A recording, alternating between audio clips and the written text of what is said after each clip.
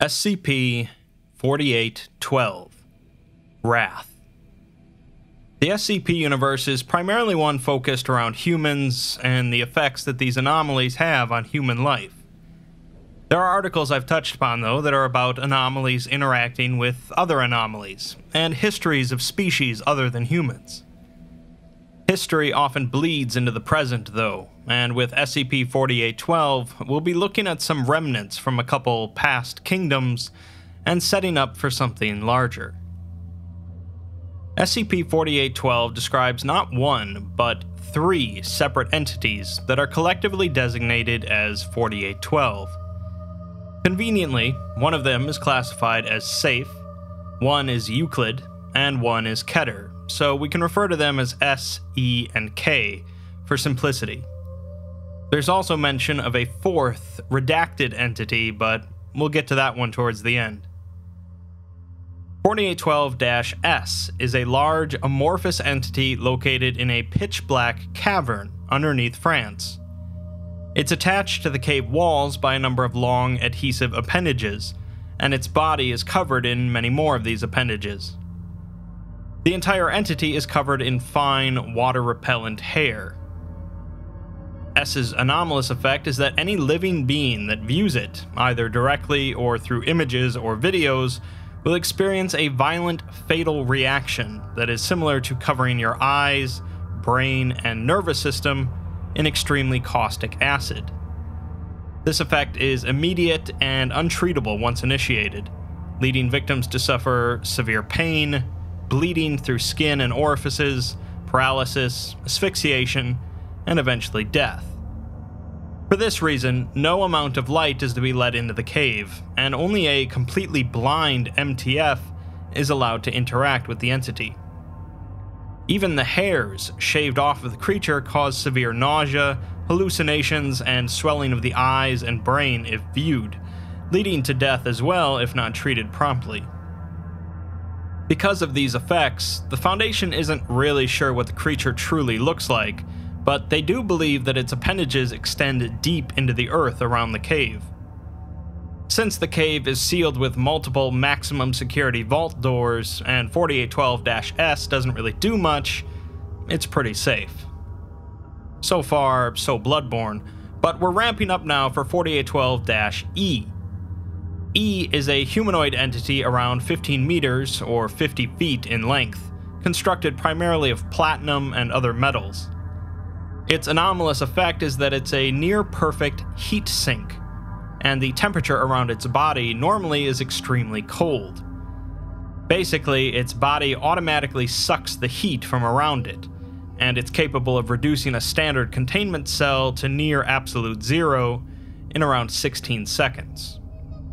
Because of this effect, E is constantly surrounded by an aura of frozen air and water, unless exposed to high temperatures, obscuring its true appearance.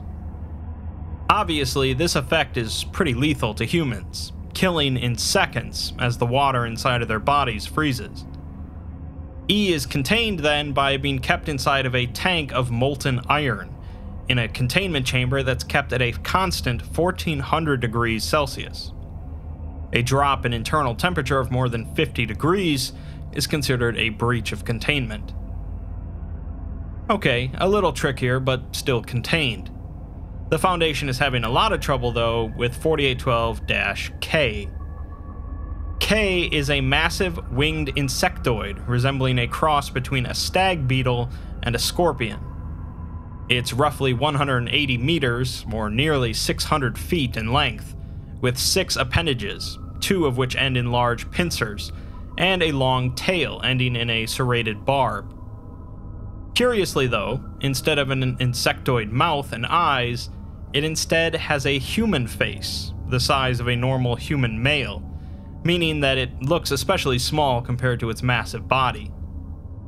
It also has four wings, and its entire body is covered in a thick, highly reflective chitin, making it nearly invisible visually.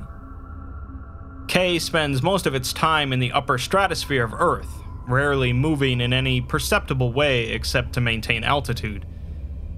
Because of its invisibility, the fact that it doesn't produce heat or reflect sound, and its rate of movement meant that the Foundation had no idea it even existed for a long time. Now that they know it exists, though, they of course have to try and contain it, but it's been rough going. Any ship or drone that could keep pace with it, as it can travel in excess of 800 kilometers per hour, are easily destroyed by its strength and size. Any weapon that has actually connected with it has not damaged it in any perceptible way. In fact, it would seem that any kinetic energy that collides with it is reflected entirely, leading Foundation researchers to think that the entity is in some way a near perfect reflector.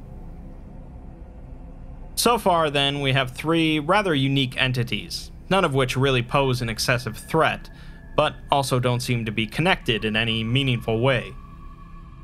We're told that none of the entities should ever be exposed to either of the other two, but we'll have to read on to find out more. The next item related to 4812 is a series of documents and artifacts recovered from an anomalous collector before his death. The collection is named the Conington Set, after the 18th century English archaeologist and occultist Winston J. Conington, whose research led the Foundation to discover multiple SCPs. The collection includes 16 coins of various shapes and sizes, none of which match any known currency, five Egyptian papyrus scrolls that appear to be ancient star maps, with illegible notes in the margins that seem to have been bleached out at some point, three large leather bound tomes written in German, full of what appeared to be archaic coordinates, with one book marking changes in temperature. These books were seemingly written over the course of many years. A brass spyglass with a cracked crystal lens containing a number of small ornate mechanisms. A thick burlap sack containing at least three more consecutive burlap sacks, and in the center, a thick gelatinous mass. Looking at the sack tends to make subjects feel ill and suffer from a slight burning sensation behind their eyes. A pair of glasses with iron frames and solid iron lenses, which, when worn, show a slight glow when looking at the burlap sack. A thin circlet made of gold and platinum, with three prongs situated around the circlet, two of which are broken, and one contains a small glass sphere that is warm to the touch. Finally, there's a journal written by Conington himself, which contains depictions of all three 4812 entities and his personal research. One of the three leather bound books has a short section in Italian, presumably written by a different author than the rest, containing a list of names and dates. Many of the dates have another number written after the date, such as 1343 89, listed next to the name Tornold of Yair. The rest of the section has been translated for us, and it's here we get our first bit of history. There apparently was a great old lost kingdom that was respected above all others, known as the House of Apollyon, or the Sky Kings of Old Europe. The first of their kings, Harion von Apollyon I, was said to have descended from the blood of the King of Crimson Skies, often called Assem, the First Man. The Sky Kings apparently ruled old Europe for a hundred generations, facing opposition from the Daeva to the east and those faithful to the Iron God to the south, presumably meaning the Mechanites, the precursors to the Church of the Broken God. The House of Apollyon were conquerors, and it was some conquered foes that first called King Itus von Apollyon Sky King, because it was said that his reach extended past the bounds of the earth. Complacency reared its ugly head, though, and eventually King Saurus von Apollyon VIII grew bored with ruling old Europe and set out to conquer an even greater realm. He looked past the lands of men, across the sea where the fair folk were said to live, and set sail with the largest army ever assembled on the path of unnecessary war. I've talked about fairies in the SCP universe before, in SCP 4000 and the Factory 001 proposal, but knowledge of these articles is irrelevant for this one. The fair folk were caught up in a war with the emerging power of the Children of the Moon, presumably meaning SCP 1000, and were blindsided by Saurus's attack. Their people were utterly brutalized and scattered, with the nobility stripped down and mutilated. Only one survivor was taken as a trophy a Fey princess. The princess had other plans, though, and on the return trip, she cast a wicked spell upon the house of Apollyon and the Sky King in particular, bringing a terrible storm down onto the ships. During this, she prayed to an old and nameless god for vengeance upon the house of Apollyon, and legend says that her iron chains caught fire and burned Saras's ship to cinder. They also say that Saras himself was dragged down into the ocean depths by those same iron chains. The destruction wasn't total, and the remaining ships managed to still take the princess back to the kingdom where young Saras von Apollyon IX now ruled. Knowing what she had done, Saras threw the princess into a dungeon deep beneath the earth and sealed it, leaving her to rot in the dark. To assist in preventing any further retribution from the fair folk and their dark magic, Saras appointed four great knights to defend the kingdom Lahair the Fierce, Lancelot the Cunning, Hector the Stalwart, and Ogier the Faithful. So far, this is just starting to sound like the plot for Dark Souls 4, and while we can safely guess that the amorphous entity in the cave under France is the fairy princess, the explanation for the other two is a little murkier. Unfortunately, the majority of Connington's journal is written in a cipher, but a few short sections have been translated. One section quotes an archivist that worked for the House of Apollyon and discusses the first of the great profanities Apparently, the voice of the enemy beneath the earth spoke to the souls of the four great knights, and Sky King Apollyon was forced to banish them. The long night settled over his kingdom, and the winter winds came from the east, but Hector did not answer. From the far darkness came something called the Venuvinex, or the Profane Restrictor, the first of the great profanities. The Venuvinex cast a cold hand across the king's only daughter, killing her. The king retaliated by taking the godless lance and the mammoth's hide and drove the spear into the Venuvinex, driving it into the flaming heart of the earth. Interesting. And it's worth noting that the four knights are not the 4812 entities. They became something else that isn't really relevant here. The point is that they couldn't protect the kingdom from these profanities, the first of which seems to be E, the metallic entity that sucks the heat from the air around it. The king lost his daughter to this monster, but he managed to drive it deep into the earth where the great temperature will subdue it, using the godless lance.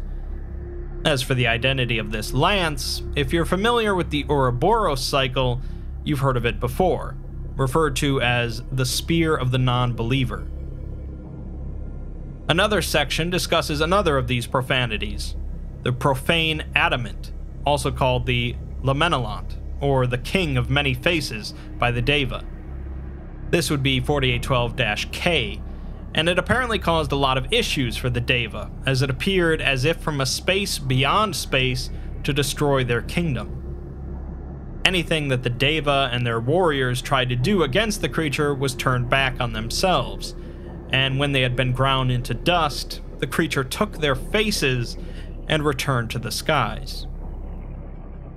The final of the profanities was known as the Profane Dark, as it festered in the enemy's grave until it soaked through the earth and burst out.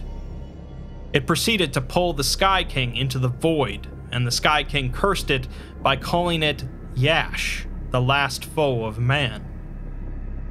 And when the Sky King watched as his kingdom was ruined without the assistance of the four knights, all he could repeat was one word wrath. The author says that he has seen the face of the Lamenelant, and he knows of the fiery chasm in which the Venuvinex seethes, but he dares not seek out the profane dark. Quoting another author, they write that the eyes of Yash offer no release into death, only the winding roads of torment that lead to the puller of eyes and sharpener of spines, where no man returns and no voices are heard. The castle of fire, the king of crimson skies, the reaper of dreams, flees from the eyes of Yash, the last scream of the nameless folk beyond the sea. Men scream out and are silenced. The light of the sun invites order to the most fundamental nature of this world, and the Yash abhors it. Wrath, wrath, wrath. This would seem to be the redacted entity mentioned only briefly at the start, the greatest of the three profanities, and what sounds like quite a cosmic horror. Enough history, though. Let's bring things back to the present with the Foundation's containment efforts of S, E, and K. K first came to the attention of the Foundation in 1964 when it passed over the northern USSR and was mistaken for an experimental US aircraft causing Soviet fighters to engage it. K rapidly ascended and disappeared from sight before re engaging the fighters at high speeds and quickly destroying them. Since then, K has only been detected a handful of times, mostly due to visual distortions caused by its reflective skin. It seems to follow a vague pattern over the Earth, often passing over the containment sites of S and E, as well as something else which is redacted. E was found shortly after the Foundation received the Connington set, following up on some coordinates in one of the tomes. This led them to a thermal anomaly beneath a lake, and their investigations ended up opening a fissure beneath the lake, causing temperatures to rapidly drop as E was released from the thermal vent it was trapped in. An MTF was brought in to contain the entity, but its temperature draining effect made this difficult. Worse still, E was beginning to move towards the nearest population center, resulting in the MTF utilizing long range artillery weapons to bombard it. The combination of a controlled gas explosion next to E and a mass of molten slag being dropped on top of it by remote drone led to the entity finally being contained. As for S, the Foundation administrator had mentioned the site of the cave in his notes as a location of interest, since other occult investigative organizations had known about the cave for some time. Up until Foundation involvement, though, they believed that the cave itself was an anomaly, since no one who had gone in had ever come back out. On June 9, 2002, three months after the containment of E, K was seen diverting from its normal flight pattern, heading towards an area in the North Sea. For some reason, K had suddenly engaged with a global occult coalition transport ship, an action that had so far never been recorded, as K only normally attacked when provoked.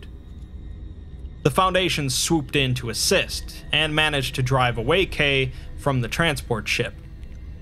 They then offered transport assistance to the ship, but the GOC refused and continued on, eventually docking in Norway.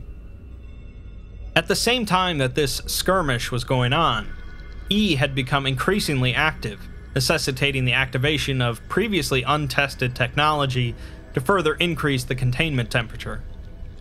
Also, several tremors were felt near the site of S, and seismographs revealed that a large portion of the cave system had collapsed, and S has since moved upwards no less than 70 meters.